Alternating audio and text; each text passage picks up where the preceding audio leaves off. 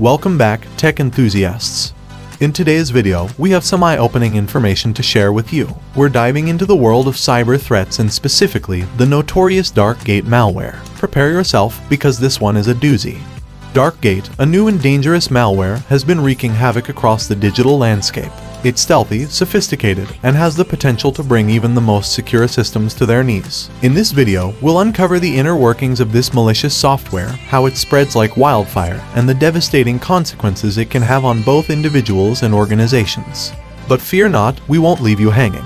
Our goal is not only to educate but also to empower you with the knowledge and tools to protect yourself against Darkgate and other cyber threats. We'll explore the best practices to safeguard your devices, identify potential warning signs, and take proactive measures to ensure your online security. So if you're curious about the latest malware that's making headlines, or if you want to stay one step ahead of cyber criminals, this video is a must-watch. Don't forget to hit that subscribe button and ring the notification bell to stay up to date with our latest tech insights. Now, without further ado, let's unveil the secrets of Darkgate together.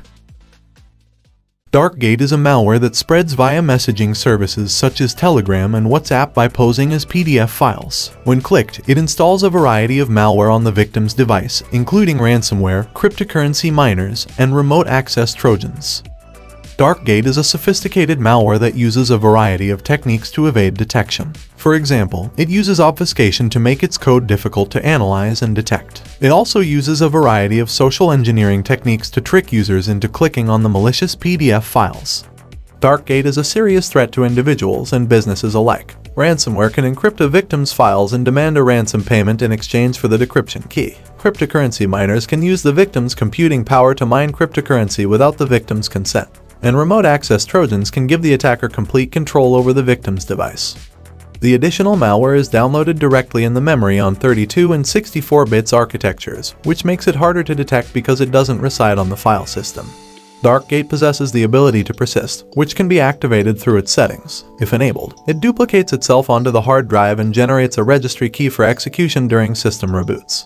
While Darkgate primarily serves as a loader for malware from third parties, it also maintains inherent functionalities. One of examples of infected Darkgate malware is on August 29th, Microsoft Teams chat messages were sent from two external Office 365 accounts compromised prior to the campaign. The message content aimed to social engineer the recipients into downloading and opening a malicious file hosted remotely. Using two Teams accounts that they bought from the dark web, a hacker sent messages on Microsoft Teams to trick users into downloading and opening a harmful archive file. If the requirements set by the attacker are met, the traffic distribution system will redirect the victim user to the final payload URL for the MSI download. When the user opens the downloaded MSI file, the Darkgate infection is triggered. The download locations observed in the Teams attacks were SharePoint.com URLs hosting, zip files with names like changes to the vacation schedule.zip. The zip file contains a malicious shortcut posing as a PDF document, changes to the vacation schedule.pdf.lnk. Clicking the shortcut executes a command line which triggers the download and execution of a renamed command line tool for getting or sending data including files using URL syntax to download and execute AutoIt3.exe in a bundled script. The precompiled AutoIt script hides the code in the middle of the file and, on execution, drops a new file that contains shellcode. When the shellcode is run, the first thing it uses is the byte-by-byte technique aka called stacked strings to create a new file, a Windows executable identified as Darkgate Loader. These are some of the ways that Darkgate malware can spread via messaging services and pose as legitimate files. You should be careful when opening attachments or links from unknown or suspicious sources, and always scan them with reliable antivirus software before running them. There are a number of things that you can do to protect yourself from Darkgate malware. The first one is, be careful about what links you click on and what attachments you open, especially in messaging services.